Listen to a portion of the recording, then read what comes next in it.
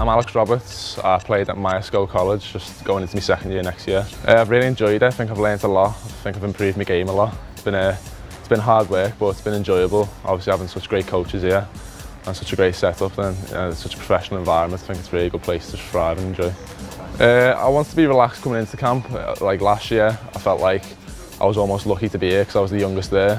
Whereas this year, I feel like I, I belong here, so I really felt like I could get one of the top rankings, but I knew that it wouldn't come easy and then I had to work hard. So coming into the, I think my mindset was just to work hard and just try and be the best.